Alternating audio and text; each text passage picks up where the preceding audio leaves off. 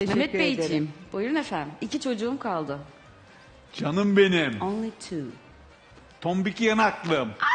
Efe Koç Yiğit. Efecan, sen hiç tiyatroya gittin mi tatlım? Gittim tabii Evrim abla gerçekten çok eğlenmiştim. Yavrum. Ne güzel. vay. Hangi oyun izledin peki? Ben kırmızı başlıklı kızı izledim Evrim abla.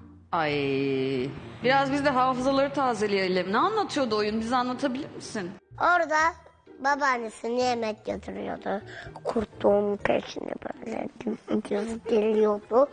Kurt hemen kapıyı açarak babaannesinin ağzına giriyordu. Sonra kapıyı çalıyordu. Diyordu ki büyük anneanne sana yemek getirdim.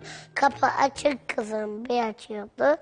Sonra yemeklere koydu. Diyordu ki anneanne senin gözlerin niye bu kadar büyük? Seni daha iyi görmek için.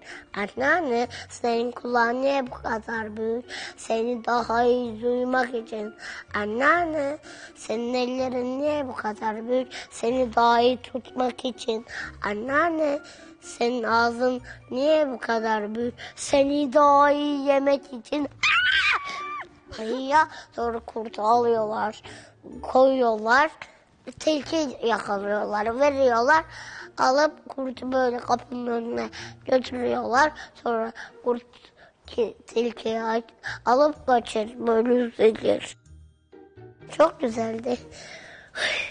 Ay, Teşekkür Vallahi ederiz.